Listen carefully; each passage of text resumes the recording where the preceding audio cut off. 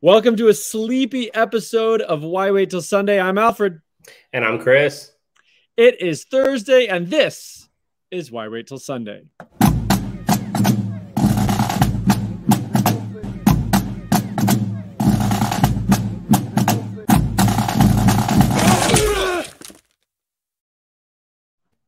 Probably a top five midweek DFS show. Forgot to say that in the intro. Like I said, I'm a little tired. Chris is a little tired. We have been watching our Bravos win the world championship uh, over the past week or so. So that's nice. Congratulations, Chris. I follow the Braves. I live 10 minutes from the stadium, but I think this one meant more to you, maybe. Yeah, you know, I lived in Atlanta for the better part of a decade, and, and so became a big Braves fan, and so it was nice to to see years of development come to fruition. So I, I, was really excited. So I stayed up late watching the celebration, and you know I've been up late for weeks now watching the uh, the late night games. So love know, to see a couple on the West Coast team win. They played the Dodgers, so when they were on the West Coast, those were kind of later games, and um, yeah, yeah. I mean, it, it's great. I, a lot of my friends are really excited. I grew up a Marlins fan down in Florida, so I did get to witness two World Championships there. Um, much, you know, you can make a lot of fun of the Marlins, but they did win two two World Series in my lifetime. Um, and then I actually kind of transitioned to being a Braves fan. Uh, I've been now lived in Atlanta for uh, like 13 years uh, met my wife here, have children here. We we you know we live here. We're foreseeable future. We're gonna be in Atlanta, so I've kind of adopted the Braves because I mean I want my kids to grow up and be fans of the Braves if they choose to be baseball fans, which right now they're too young to really care. It seems, but you know, be able to be not outcast at school rooting for the Marlins. I mean, I felt like that was just that was just mean. Um, so I kind of transitioned to being a Braves fan, but obviously my fanhood is a little fickle if I do that sort of thing. So um, met, took a lot of heat from my friends down in South Florida. Um, so I'm happy, but I'm not like this. It wasn't like a life changing event for me. Like some, I think some of my friends, this was like a life changing event for them. So um, congratulations to the Braves. I have actually felt like a real sicko because I've been more interested in uh, Eastern Michigan and Toledo actually than than the Braves like last night. So I I feel like I'm just a psychopath because I I just care about college football. but um anyhow, MACtion's tough to beat. You know, MACtion's tough to beat. So let's bring up the uh the old slate here and let's get cooking. Uh let's see. I need to do the share screen thing. Sorry take a minute. But i did some you know we got the graphics back. We're we're cooking with grease again. I know last couple weeks it's been a little bit of uh less uh, of a performance you know by me uh on the show. But getting back in gear we're gonna finish strong. We're gonna hit the last half of the season hard um, and we've got a pretty nice slate, Chris. You and I have been talking about how DraftKings has chosen some pretty crappy games to put on the slates. Um, but this uh, this week looks pretty good. A nice smattering of of different teams. We've got some G5 matchups, which I think they should do more of. I think they should sprinkle in more uh, you know, two to three to four G5 games in a, on a 13, 14 game slate. And so we've got some of those. I decided to put Bo Nix uh, as like the cover boy, basically, of our graphic here because I think he's earned it. Uh, and we'll talk about Bo Nix, I'm sure, a little bit, but I think he's finally earned it. The guy I've made so much fun of Bo Nix for the past two or three years, like many people, but kid's playing pretty well. I, I made him our cover boy today in the big matchup versus Texas A&M. Um, all right, so talk to me uh, you you have been banging the drum. I, I'm just going to give you the floor here because if you haven't followed the show all season, Chris Moxley was the one who identified that Missouri could not stop the run. And we have been playing running backs against Missouri all year. He has hypothesized that a tournament winning lineup will have two running backs from the same team against Missouri at some point this year. This could be it, buddy. So take it away. Missouri at UGA. What are your thoughts? So this is a 39 point spread. I mean, when was the last time you saw a 39 point spread in SEC game? Insane. Uh, I, I, mean, that's just crazy. Missouri comes in uh, with an implied team total of 10.3 points. I I just this is a tough scene for Missouri this week. I think Georgia's going to run all over them, like you said. There is interest in the Georgia running backs and Georgia offense here, but Missouri is just totally off the board, I think, this week. Right, right, right. Um, total, I mean, you know, this is something you expected like bad you know, bad Kentucky versus Alabama level. Like I didn't think Missouri would get this bad, but I guess pretty much any offense is rendered useless against UGA. I mean, if you don't even have a defense to kind of stop them, it's over. So um all right, next on the list is a interesting one, kind of encircled I think on a lot of people who are in our our space all year. And this is uh Liberty headed to Ole Miss You've got the interesting story of uh, Malik Willis transferring from Auburn, going to Liberty, lighting the world on fire now, getting buzz as a first round NFL draft pick. You've got Matt Corral, who some people think is the best quarterback in the country, and the numbers uh, seem to support it, uh, at least early on, and, and last year certainly did. Um, you got two kind of cruddy defenses, although Liberty's defense is kind of good, but you know their schedule uh, leaves a lot to be desired. So will they get exposed? Um, it's a massive 68.5 point total. Ole Miss comes in at almost 40 implied points, and Liberty sitting not too shabby at 29. Two top half teams in terms of points scored. There could be a lot of offense in this one, and we will have to see if any of the prices match what we would want to do there. Next on the list, another bonanza, Wake Forest at UNC. Uh, you can be a very casual college football fan and know this one's going to be explosive. Yeah, number eight Wake Forest, I, I believe, heads That's to right. or gets North Carolina this week. Um, this is a matchup in my neck of the woods, so I'm I'm really excited for this game. The total here is 76, and it doesn't have the storylines of Ole Miss Liberty with Hugh Freeze going back and seeing if he can prove himself. But this is a game that is all about offense. Last year, we saw both teams score 50. Oh. I think we're going to see something probably similar this week.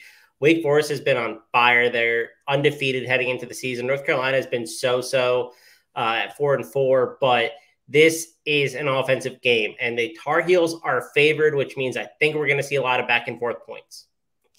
Yeah, Tar Heels coming in favored. No one is respecting uh, Wake Forest. Most people think they are a mirage. Uh, I guess we will have to see this week. Um, G5 game, love this. SMU at Memphis. There's no real good reason for DraftKings to put this on here, but I love to see it. I'd much rather this than freaking putting Iowa on here again.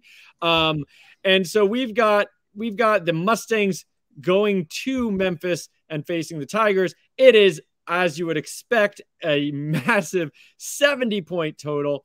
Uh, 5.5 point spread means you're to looking at an implied score of 38 to 32 uh, with Memphis or with SMU coming out on top. You've got two probably top 25 offenses, two bottom half defenses. I mean, you know, this is a big one for DraftKings for fantasy points, the whole nine yards. And from the ridiculous to from this, I don't know, ridiculous to the sublime, whatever. If you think defense is sublime, we've got Illinois at Minnesota. Yeah, this total is 44. Minnesota has actually been really impressive outside of their loss to Bowling Green. I I know. I, like, I what the hell happened? I I don't know. And I I tweeted earlier today. I said, when was the last time that a Power Five coach lost to Bowling Green and got an extension in the same year? I'm not sure it's ever happened. PJ Fleck got a seven, I think, a seven year extension today. So con- congratulations to him and the Gophers. I think that he's done a good job with that program. But um, yeah, this is low total. Uh, Minnesota's offense isn't exactly prolific. They're great against the run. They're great uh, running the ball. I mean, they've just been solid no matter who's back there. Um, Illinois had that big win against Penn State and lost to Rutgers the next week. So it, this total is probably appropriate at 44. Man, speaking of totals, as a sidebar, I I tweeted out actually uh, didn't end up getting it in. Uh, unfortunately, didn't get it in before kickoff because my kids were being crazy. But uh, I wanted to go the under in Northern Illinois, Kent State, which got ballooned up to 72. And I felt real good after the first quarter that was seven to nothing. And now we are looking at about a 38, and uh, Kent State is driving with a minute left. Could be a 45 point second quarter, which is a tough scene for the under. Um, so just speaking of that, I'm keeping uh, tabs on that game. That's pretty wild. A 45 point quarter, not half, quarter. That's oh insane. yeah, it's a fun it's a fun game. MACtion is the best. Ma- we do love MACtion here. Um, okay, uh, Ohio State at Nebraska. This is an interesting game. I mean, I, I like this game just from a you know morbidly curious Big Ten. I, I love Ohio State. I think they're very very good, but then we have um, Nebraska. I don't think anybody knows what to do with Nebraska. I've actually been listening to a couple college gambling podcasts this year to get a little bit of a different perspective because I think that can inform DFS decisions as well. And uh, there's a lot of people that don't know what to do in Nebraska. They're kind of just, you know, they can look so good and then they can just look absolutely atrocious. And it kind of rise and fall with Adrian Martinez. What will happen at home, their Super Bowl against Ohio State, because they may be flirting with not even being bowl eligible. So this could be game of the year for Nebraska. And uh, will they rise to the occasion? Texas A&M at Auburn looks like a probably a quality football game, but maybe not a lot of points. No, it's an under 50 total, which is not super sexy on the slate where we have a couple games over 70. But another good game, Nebraska. Uh, Nebraska. Auburn's played better. Um, Texas A&M has also played better. I mean, Calzada's kind of in a rhythm, but they played bad teams, so I don't know how much you can really take away from that. But this should be just a good SEC matchup. I mean, enjoy it on your TV, but probably avoid it for DFS. Um, by the way, Kent State did get in, so that's a 45 point quarter. I'm not sure I've ever seen anything like it. Uh, Baylor at TCU. Man, a couple years ago, I would have said this total should be like in the 30s, but not this year because Baylor's offense is pretty good. Their defense is decent. Uh, Texas Christian can't stop anybody though, so this is pretty um, I think Baylor's probably going to control this game. They're favored by seven. They have an implied total of 32, which could be uh, a place to find some value that not everyone is going to be looking for, considering they have a 30 point team total. But I think people don't think of that offense as a whole lot of excitement. Uh, and then, you know, TCU uh, is just not the TCU of old and kind of crumbling. Uh, they're Gary Patterson's out. I don't I don't know. I'm not really interested in TCU right now. Oklahoma State at West Virginia. West Virginia's been cashing some dog tickets lately. They're on fire. Yeah, they've been good. Um, you know, I was I really thought that their secondary was going to be the key to their success on defense this year.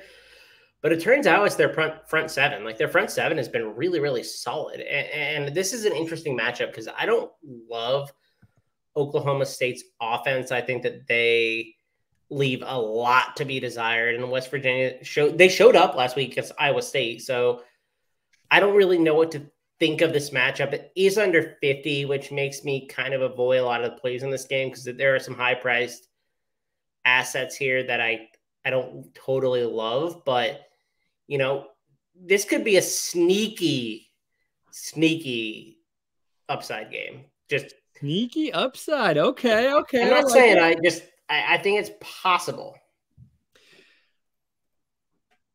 I like it. Uh next is Navy. Can't really see on the graphic here because I didn't really know. I didn't want to do gold because Notre Dame is gold. So I made it blue. Or I'm sorry, we're on Tulsa, Cincinnati. Woo, boy, struggling. Woo. Tulsa, Cincinnati, another G5 matchup.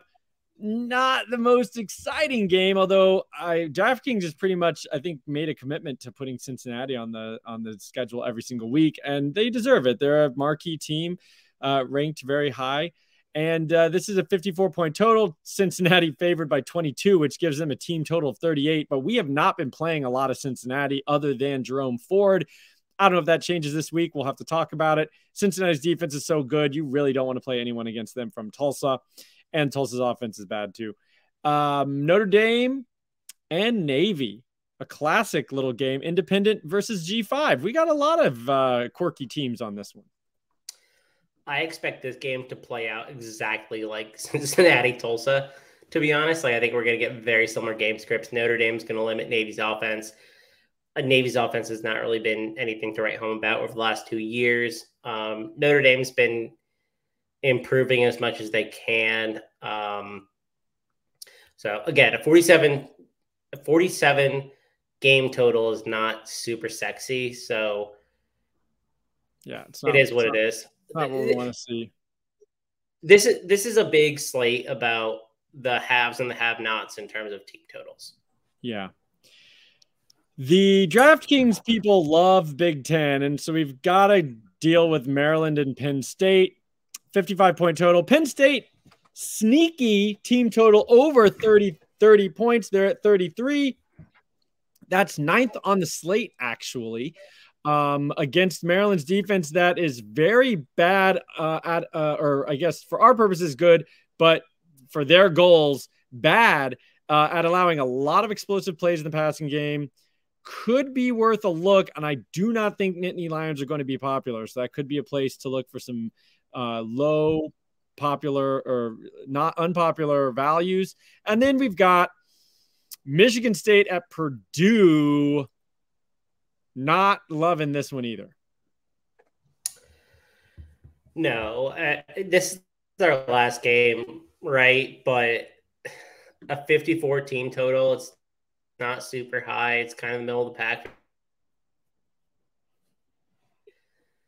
I mean, it's fine. Michigan State isn't the favorite that I thought they would be, which kind of creates a little bit of value on the Purdue side because I think that they're underpriced. So I think we'll talk about them a little bit, but this game isn't super sexy compared to the team totals or game totals that are like 20 points higher. Right. And that does it for our uh, quick slate overview. Um, and now we go into the actual players. And so let's just go ahead and do that. Chris, quarterbacks up first, as we always like to do. And, you know, Sam Hartman has become a, an absolute fantasy stud. He is the most expensive quarterback on the slate. He's coming in at 10,000. That is usually reserved for Caleb Williams, for Matt Corral. But hello, Sam freaking Hartman, 10K. What do you think? I don't want to say you can't play him because you absolutely can, but I'm not sure that his upside in this matchup is that much higher than guys who are like at least a thousand cheaper. And that's really the question that I'm trying to to balance, right? He he's just incredibly expensive in what I think will be a high scoring matchup, but there are other high scoring matchups on the slate. And so I think it's at least target some quarterbacks that are cheaper than him that'll get you maybe like 90% of what he does for a huge saving. So eh, he, you can play him. Like, I, I won't say that you can't because he's not in a void, but he's not somebody that I will probably target. I'm old enough to remember when Sam Hartman was like in the sixes, probably, and won a G. I didn't win it because I didn't play him, but I stacked Wake Forest UNC last year. Mm-hmm. Sam Hartman, Sam Howell, uh, stack won the whole thing. Uh, and I had almost everything except I did not have Hartman. One thing with Hartman is that he has given us a lot on the ground this year. He scored a lot of rushing touchdowns. And so, you know, I'm not sure he's mobile, but he that's not like I'm not sure you can count on that. And so that would make me a little worried that he could pay off a 10K salary if he has a game where he's not getting in the end zone on the ground specifically. Then we've got Sam Howell. He belongs up here. I mean, 9,800 against Wake Forest. I have no problem there. Both of these guys are routinely into the 30s every single week. Uh, Matt Corral versus Liberty. He's uh you could call him discounted at 9600. His health I think is a little concerning, but he's been he he was he started last game, then he didn't he come out a little bit against Auburn, but then come back in. He finished uh, with 37 attempts, so he played most of the game, but he's been he's, it's been weird yeah, I, I'm not sure he's healthy. Yeah, Still, I kind of think he's like, trying I, to play through something.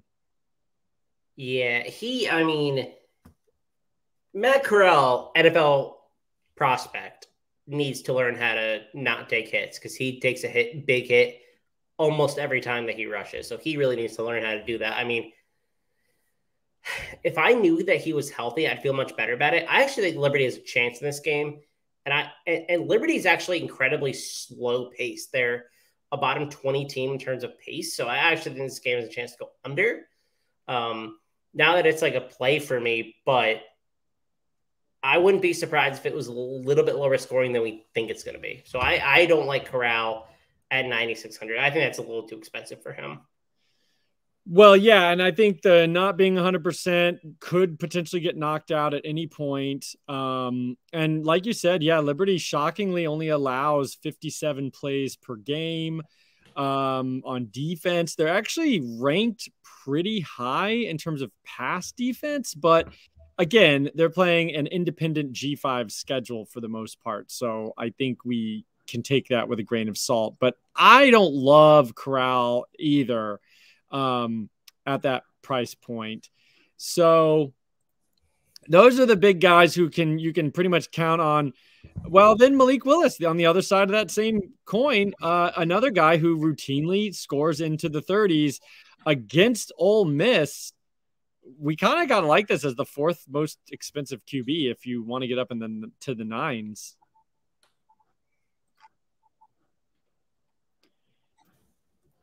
I think you're you're He's like He's fine. I think this week, like.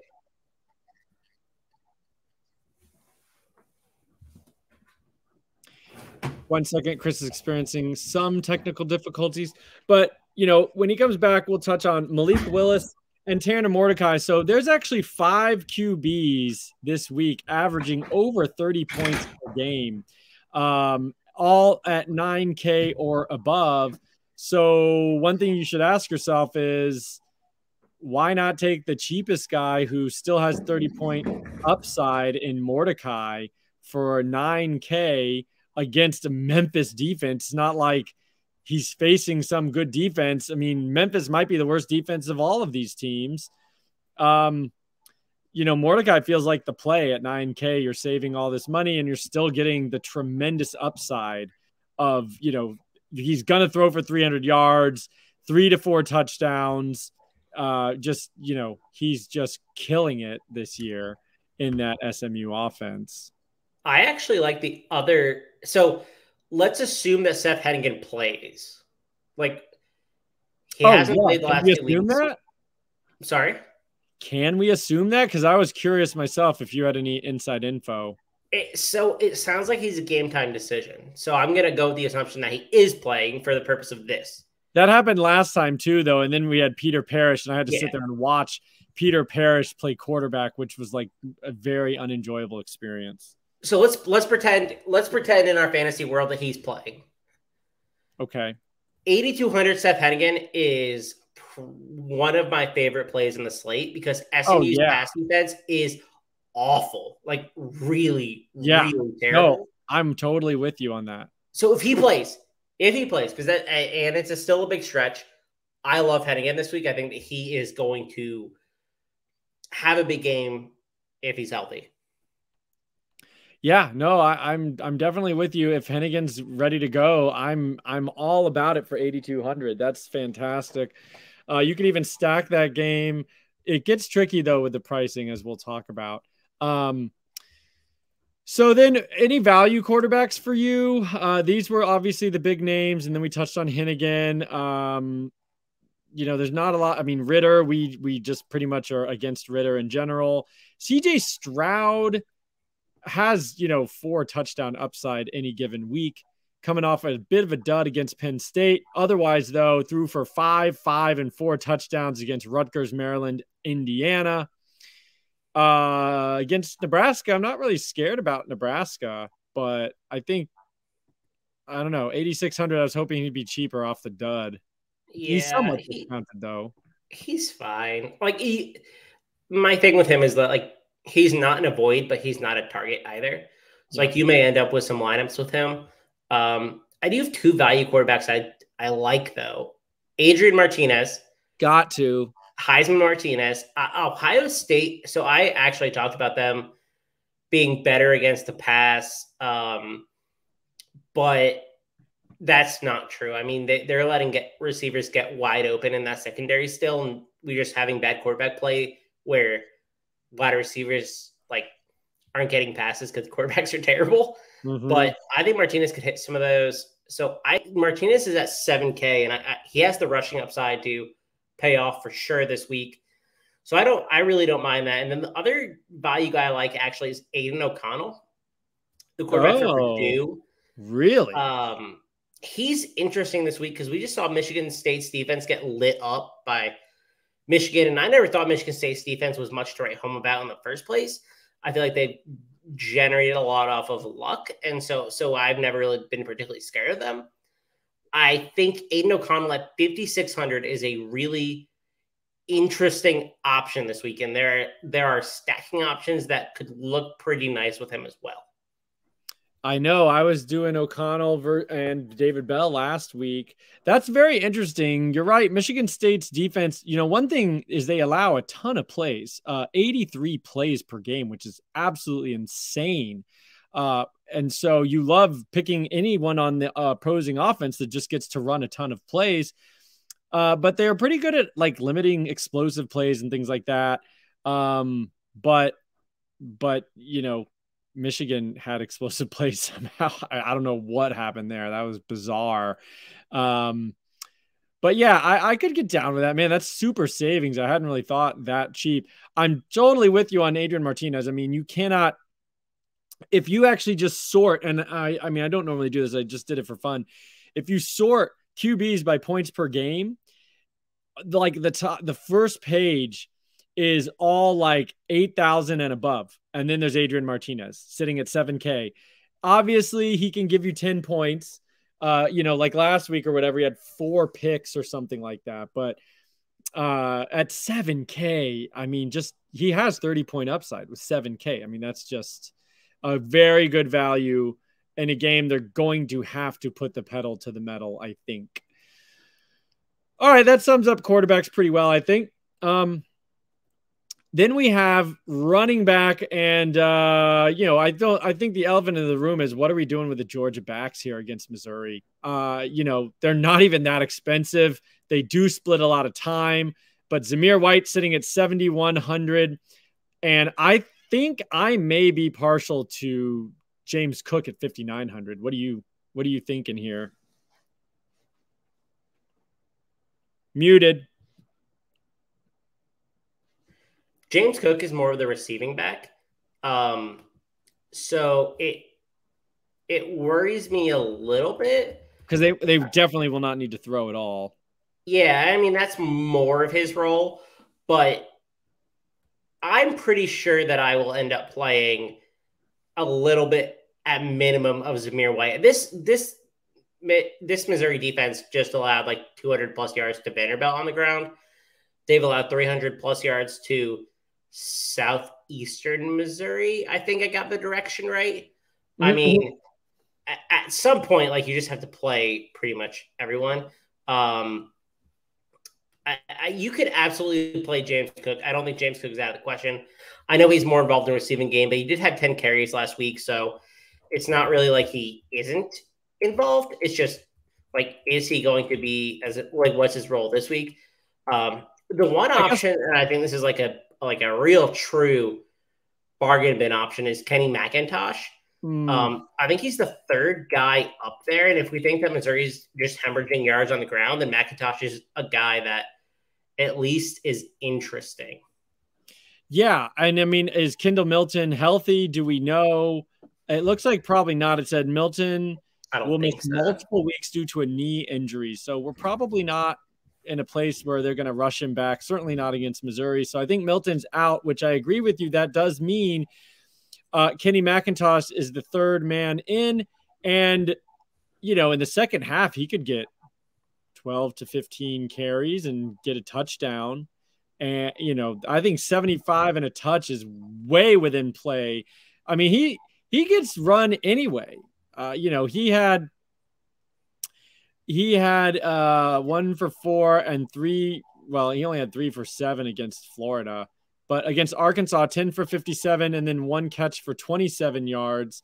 And I think there's a decent chance he gets in the end zone here. So, you know, you could be looking at a 10 point day, maybe 15, which would be a lot. But Missouri, you cannot overstate how atrocious. I mean, I don't know if it's talent or scheme. It's got to be at some point. It's got to be scheme. Like, there's no way they're they're they have such little talent that it, they must just like not the coach philosophy must just be like I don't care about giving up the run or something. Yeah, they play a weird. uh Not that's weird, but like the, their defense is is a little bit unconventional. Like they lead the country in in uh, man coverage like each year. So like they play a little bit funky almost every time. So I'm not super surprised that they're like well, and they're, they're points. Not very I, good I think that we're going to see a change in defensive coordinator very soon. Yeah, well, they're pot committed at this point. So, yeah, Kenny McIntosh offers a tremendous amount of savings, but you have to realize your upside is a little limited. I mean, I, I don't think you're going to get more than 15 points. So, I don't think you're going to get 4x, 5x from Kenny McIntosh. Um, although it's, they just have such, they just don't run plays at Georgia. I mean, it's like, you look and you're like, well, somebody's got to be getting 20 carries. Nobody's getting 20 carries. I mean, it's just, it's really weird. I guess they're 118th in the country in plays run per game. They only run 62 plays per game. That's not very many.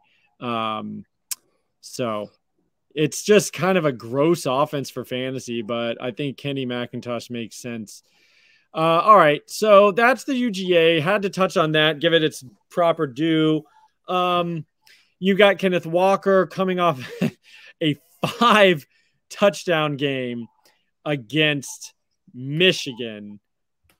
He's done it. He has two games this year, I believe. Well, no, he had a he has a four touchdown game and a five touchdown game. I don't know if I'm going to play him though again. What do you think against Purdue that we probably like the passing games in this in this game if, if anything?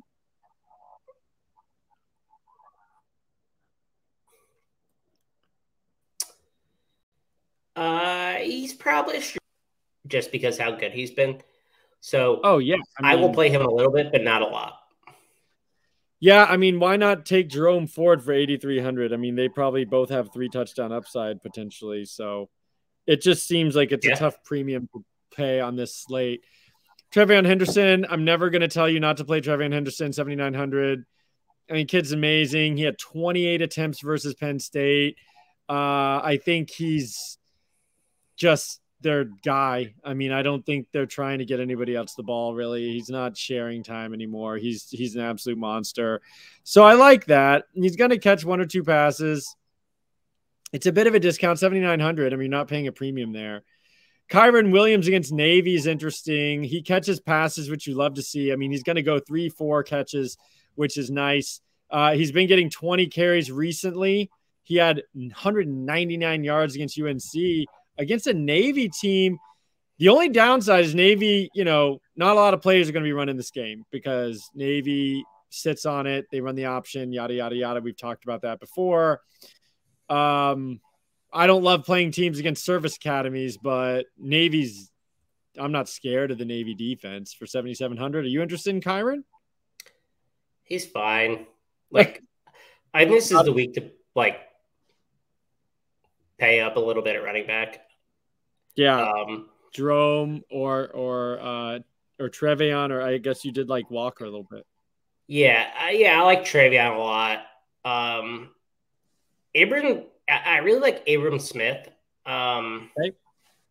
He's seventy three hundred, so it's not like you're like paying up, paying up for him. But he was huge last week, and TCU's rush defense is terrible. Yeah. So it's not like necessarily like a huge pay up, but it, it, it is a guy that's above seven seven k that I really really like again this week. I think that he could have a, a monster um, game again. I mean, he's just been he's so incredibly involved in the rushing game. He's averaging over 1100 or 1100. I wish he was averaging over 1100. He's averaging um 111 rushing yards per game. Yeah. Um and he's like he's a senior there, so they're they're really defaulting to him. So he he's been incredibly impressive. But I think that's a great call actually. That's a really great call and you know, he catches some passes. He's going to he's got two games uh back to back with two so that's nice. And he's coming off back to back 20 plus carry games as well. Uh, I think you're right. He has pretty much evolved into their feature back. And yeah, we love taking backs against TCU. There's no question about it. Yeah, he was a guy I really liked last week as well, and he paid off. So I'm I'm going back to the well here. I agree. I think that's great. I think Tyler Badie, we don't need to talk too much. I don't care if he catches passes. He may catch 10 passes, but you just can't against no. Georgia. Uh, Zamir White, we talked about Isaiah Spiller versus Auburn. I don't. I just haven't found a lot of success or or, or good value playing Texas A&M running backs. I mean, they split time. You know, they're you know they're all they're going to get a 15 to 18 carries for one guy, 10 to 12 for the other guy. At 7K, is that enough for you to like Spiller here? Not really. Um, like I, I don't know. Like I don't really want to play him. And I don't love that game. I mean, I just don't think there's yeah. a chance the game goes crazy. He Let hasn't had he hasn't really had a uh, week when like a no breaking week either. Like he just produces, but like you're not sitting with him and being like, oh, I, I you know I can win a I, I can take down a GPP. Like that's not really the player he is. He's a he's a high floor player. Maybe he'll get you like 18 to 22 points, but you're not getting like a 40 point week out of him, especially not this week. Yeah, and I think you know we always talk about how we we generally lean towards GPP discussions on this podcast, but I think at 7K, he very well could be a pretty safe cash play uh, where he's going to give you you know, 80 to 100 yards, almost lock and load that. Probably one touchdown, probably two receptions. So at 7K, I think you're going to get 3X out of him. And maybe that's what you want in a cash game. So I think he's very safe at not too much of a premium. Leddie Brown, I don't want to play him against Oklahoma State. The, the defense is just really good. I like Leddie Brown, but not against in that matchup to me. Um, Take me through some of these guys in the sixes, Chris. Um, we're avoiding Spiller. We're I think we're avoiding Achane as well for kind of the same reasons. They just cannibalize each other so much where it's really hard to get to either of them, especially if they're priced up. And on this slate, they are. Um, I'm interested in Mar'Keise Irving this week at 6,300 for Minnesota they they are I don't know what's going on with with the Gophers, but I mean they're just dropping running backs like flies. Like I have no idea what's going on. Hey, Mar'Keise Irvin might be the last guy standing there. Uh, he's splitting a little bit of time with Ky Thomas, but I, Irving's really kind of earned the role. So I, I I'm really interested to see what he does this week. And he's only 6,300, which which definitely makes me interested. Um, a guy like this, a little bit more expensive than him, is Ty Chandler. Ty Chandler has actually been really solid the last few weeks. He started off slow, but we're getting a 76 point total, which means that I I don't think that like we just saw Wake Forest get beat up on the ground by a triple option Army team. Like, do we really think they can stop the run that effectively? Probably not. And and, and so Ty Chandler is a guy in the 6K that I think has a good shot to pay off. Um, you know, I, will talk about it down for a second because I do think he's worth talking about.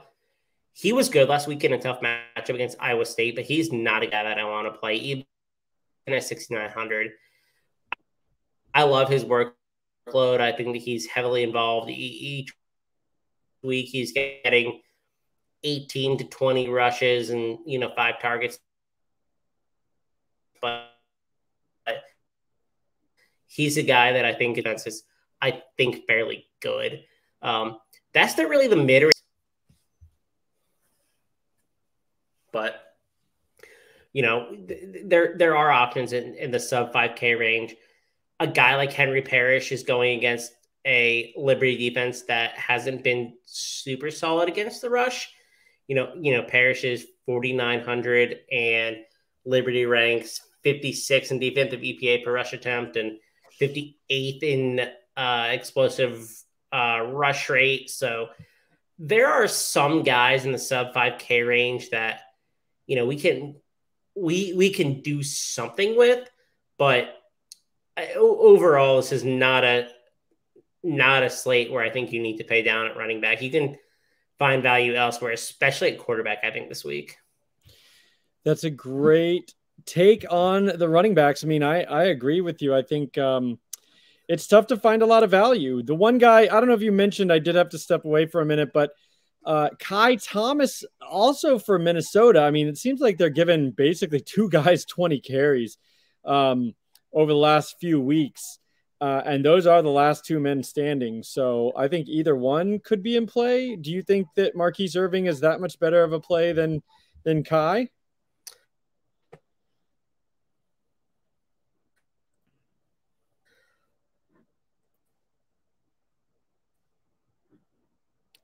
Oh, I think you're you cut out a minute. Um, there you are. Think so. I'm, Thomas is five. A Irving is sixty three. Um, Illinois' defense isn't the worst, so I mean, I think I'd rather take the guy that I think has the higher chance to get like twenty touches. I think that's Irving. Um, yeah, I just was surprised to see that that Ky Thomas had uh, he has had 20 carries in the last two games, uh, each. 21 and 21, he's back to back 100 yard games. I mean, they're just feeding both guys uh, right now. So I don't know. Thought it was worth uh, considering. So let's see here. Uh, yeah, I think there's nobody else too too cheap that I'm that interested in, other than we already talked about Kenny McIntosh at the bottom of the barrel. So receivers, and this is where it's going to get, I think, a little tricky because you've got two guys, three guys. I mean, I want to roster three eight thousand dollar receivers, and that just doesn't really work how do you choose? I mean, Josh Downs is almost like I don't see.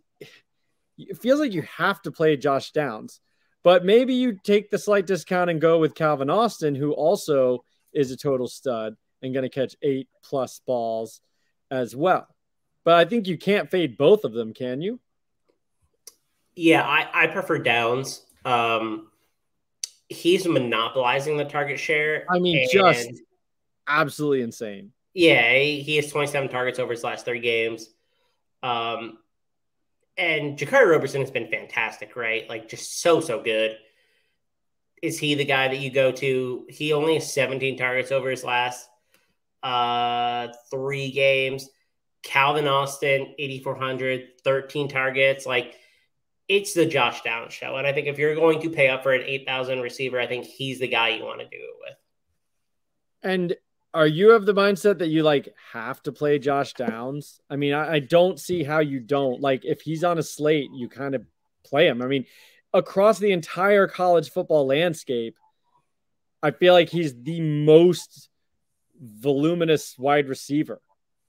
40% target share. Like, that's, yeah. that's insane. Yeah, he's the only one doing anything. Um, do you have to play him?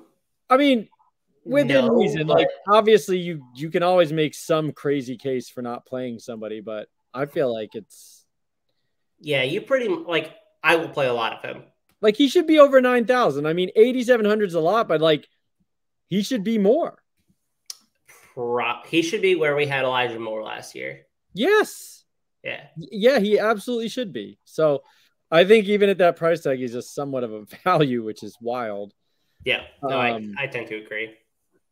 And then, okay, Calvin Austin, I think you could play him. You don't have to, but if you're going to go Henigan, it's going to be tough to not also stack with Austin. I feel like if you think Henigan's going to go off, I think you could stack with like secondary options.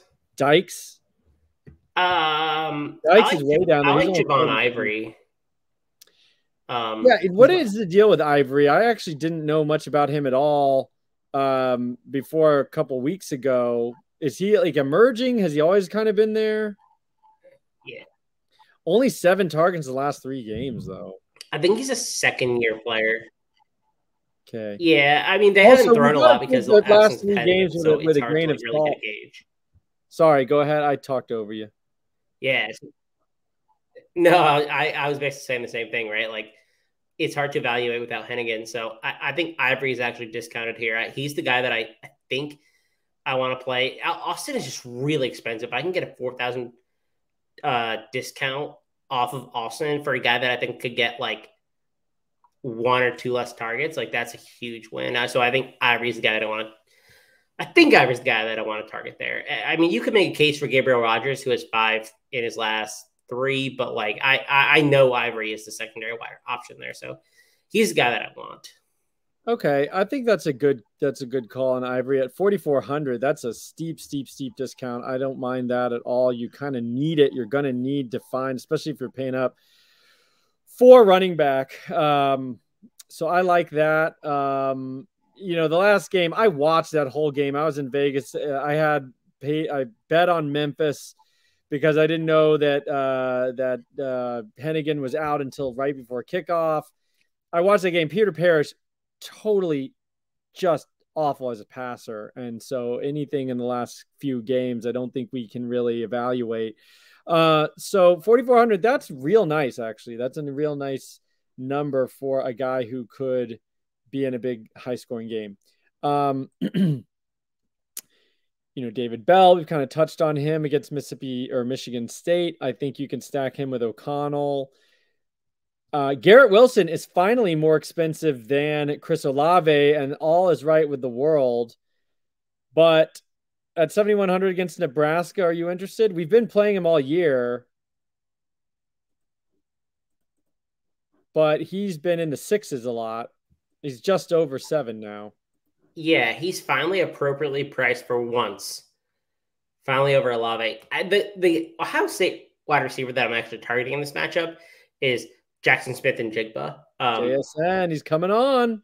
Yeah, he is running the same amount of routes as everybody else, and he's actually out targeting Chris Olave um, over like over the last three weeks, but really over the last four or five. Um, he's really taken on a bigger role and he's really impressed as a sophomore. So he's the guy that I want at 5,800. You're getting a $2,100 discount on a guy that I think is kind of assumed the wide receiver two position over Olave. So, boy, that's gonna he's the guy I want here. Angry.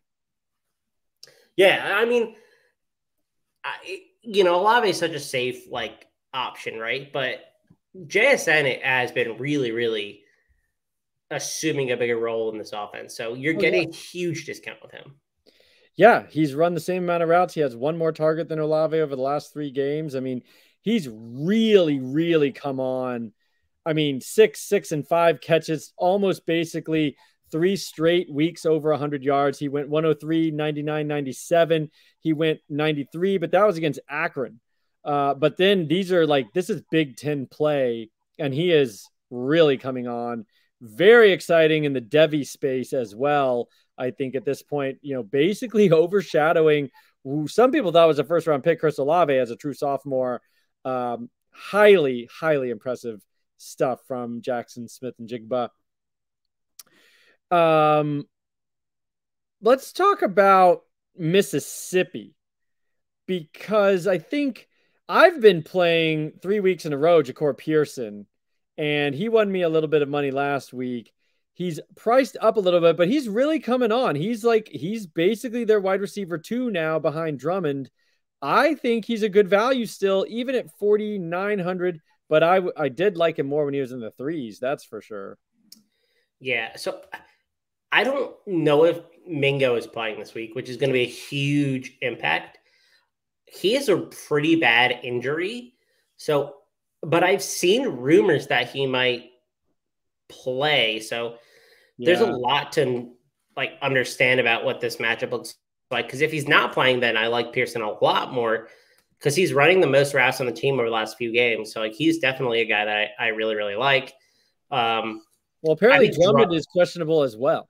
Yeah. I, I yeah. So there's there's opportunity in this um in this receiver core. I think Drummond is also underpriced, sixty five hundred. Um, I think that's too low, just too low for him. Um, you know, their team total is basically forty, so I just think you're getting a pretty good value there. He's been really solid all year. Yeah. Um, but there's definitely a lot of value there. What about Liberty pass catchers? I mean, I think everybody could be in play against Ole Miss's defense. Uh, they have a six thousand dollar receiver in Douglas. CJ Daniels, I think, is kind of their tight end. Uh, is yeah, he's their tight end basically. He's fifty three hundred, not a super cheap uh, situation there. Um, do you like anybody? I mean, I just I don't really know. It's Malik Willis or bust maybe uh, because he runs so much. Yeah, I'm probably not playing a wide receiver in this game. Um, I mean, I just think the ceiling's fairly low. I've not been impressed by Liberty this year. Like, yeah, I don't think that they played terribly well. So, yeah, I'm and Willis probably avoiding up, their pass catchers. Yeah, Willis is putting up his points, but that's kind of that's kind of it. Um, yeah. And then, you know, we got to talk about the Mustangs. We got to talk about SMU. Danny Gray. They have three guys who are really good, get a lot of looks. Danny Gray, uh, Robert Roberson, and Rashee Rice. Rice being the cheapest of the trio. I mean, I I really like him. I know that's not uh, you know amazing analysis. Take the cheapest guy, but he's also seen second most targets. Uh, he's running he's actually not running that many route routes, but seeing a lot of targets. And I think it's him or Calcaterra if you want to get in on SMU. Yeah, I think you can actually stack a couple guys in this game. Like if you want to play Rice, go for it. If you want to play Calcaterra, go for it. I mean, Calcaterra um, at only 4K is pretty nice considering, yeah, you know, he's, he's so less priced than Danny Gray. He's run second most routes on the team in the last three games. Shout out to your sheet. He's got five unrealized fantasy points per game. So I think he at 4K, Calcaterra is very nice. Yeah, you just hope he gets some more touchdown luck like he had earlier in the year. That's really what you're hoping for. Um, yeah. I think my favorite play there is probably Rashee Rice, but yeah, I like Rice. I too. also like Calcaterra a lot, so I'm not gonna disagree with you. Uh, I like Calcaterra a lot. Um, that's most of the interesting guys. I think just looking at the games, you know, I don't think we're playing a whole lot from the passing game of Baylor, TCU, Auburn, Texas A&M. I mean, none of these games, like I can't even think of receivers I'm interested in. Now, we did mention Penn State having the you know a 30 point total is kind of interesting because they can't really run the ball uh, they're going after pass. If they're going to get to 30 points, you know, I'm not sure I want to pay up for Dotson at 7,600, but Parker Washington at 55 is kind of interesting. Where are you at on Penn State? If they're, you know, let, let's assume they're going to score 30 points.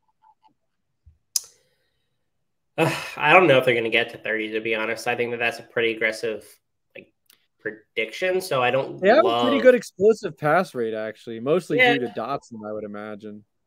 Yeah, I mean, I don't know. I, I actually think Sean Clifford and a Dotson stack isn't crazy because Sean Clifford's price so low at 6K where you could actually afford wow, to get Dotson 6K? Yeah, so, I didn't so I think that's actually like an interesting play that we didn't touch on earlier. Like, if you want to play Clifford and Dotson, I think you can. I, I have the under in this game though, so like, just, just saying. Is saying what? I have I have the under 55. Oh yeah, yeah, the under. Well, that makes sense. I mean, sure. But the under could be because Maryland doesn't score anything and they could still get to 30. I don't know. It's interesting. I think there's some sneaky offense on the Penn State side. I would have never thought they'd have a team total of 30, which is kind of that, you know, marker for me to be interested in an offense if you're going to get to 30. Um, oh, yeah.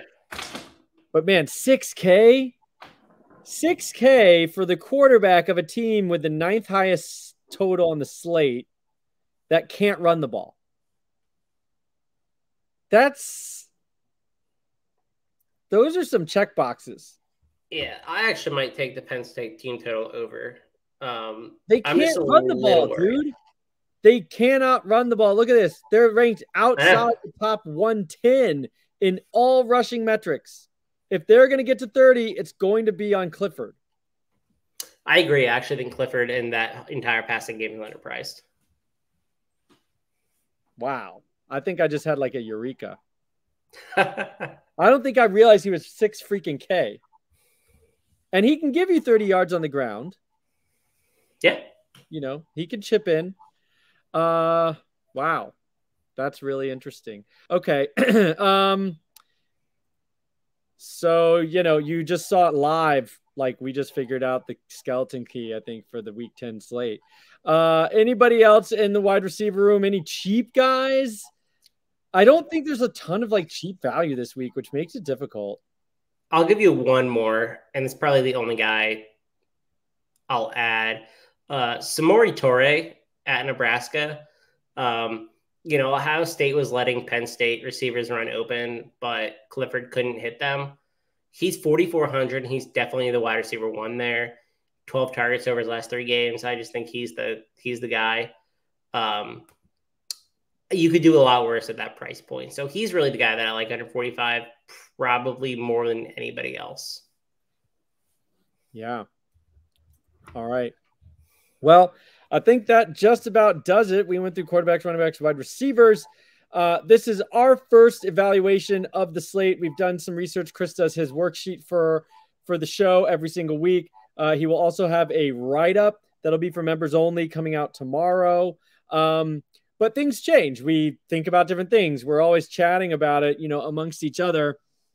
And um, we we could have some new thoughts. So tune in on Saturday morning. We have a live show that we will talk about any new changes, updates, new injuries um, for this slate. We will also talk about bets that we like. Um, shout out, tune in to the three and out where we have a contest going. I am 16 and three, no, six, 15 and three in my top two picks for the season. That's a pretty good winning percentage. Um, but tune in for that on Friday mornings. And then Saturday morning, our live show, we'll also talk about bets. We'll also talk about prize picks. And if you want to get in on prize picks, if you don't know about it, it is a um, basically a, a props app where you can choose to go over or under a certain total and win real cash. If you sign up for the first time, promo code C2C. Get in there. It's a lot of fun. We and we will walk you through our favorite props on Saturday morning as well. So tune in for those shows coming up. Thank you once again for joining us with Why Wait Till Sunday. Let's bink a few tourneys. Chris, have a great week. Go Gamecocks.